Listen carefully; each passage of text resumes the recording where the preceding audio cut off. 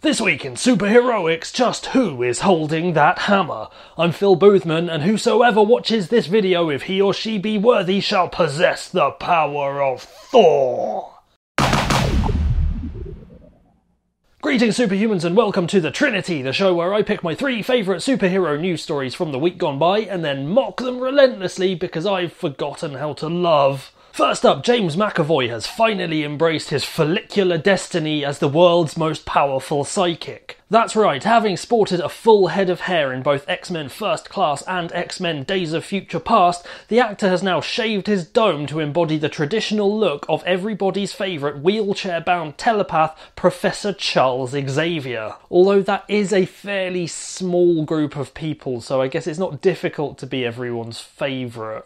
The move follows a couple of offhand comments in first class about Cerebro being more effective if he shaved his head and losing his hair to complete the academic look every professor needs. There's no word yet on how the great man himself will actually lose his hair, but my money's on a dangerous mutant with alopecia inducing superpowers. Although, having said that out loud, I get the feeling I might not be seeing that money again. Anyway, check out director Bryan Singer's Instagram account for more teaser photos as production continues, and watch out for X Men Apocalypse hitting the big screen in May 2016. Next up, and staying in the X Men movieverse, yet another new film has been added to the increasingly stuffed superhero movie slate in the form of a film about teenage super team The New Mutants. In the comics, the New Mutants were formed when Charles Xavier, under the influence of both grief for having lost a number of his pupils and an alien brain brain parasite started allowing younger mutants into his school. That's right, an alien brain parasite.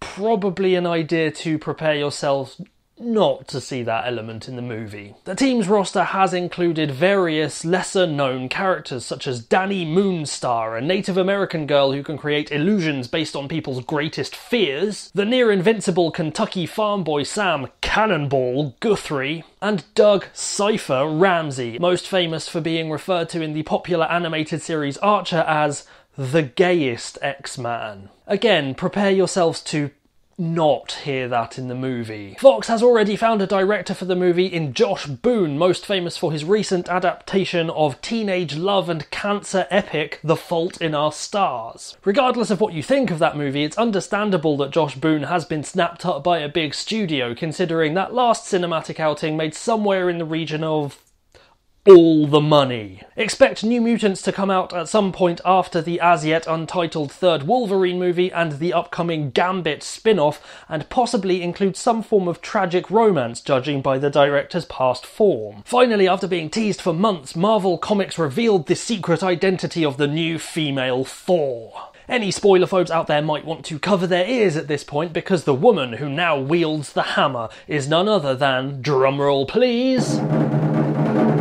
Jane Foster. Foster, while currently most famous for being played by Oscar winner and mean ass rapper Natalie Portman in Thor and Thor the Dark World, has been a long-time ally of Thor Odinson and his sometime dorky alter ego Dr. Donald Blake since her introduction in the 1960s. Most recently, she appeared in the really rather excellent comic book series Thor, God of Thunder, where it was revealed that she'd been diagnosed with breast cancer and became a member of the Council of Worlds and the first human resident of Asgard. Because apparently, being best buds with an almighty Norse god has some perks.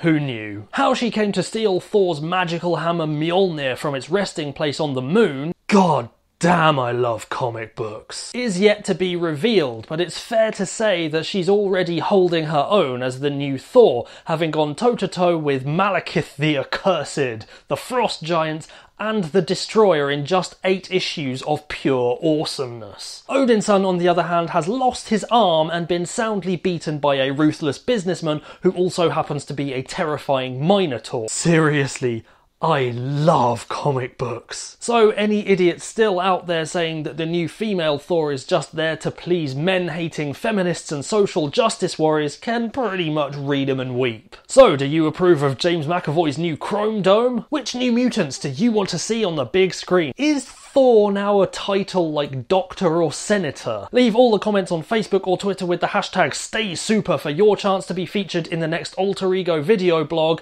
And until this time next week, stay super! Thank you for watching. You can click over there to watch last week's episode of So You're a Superhero or the most recent Alter Ego video blog, and you can click down there to subscribe to Empath Digital for brand new content every single week.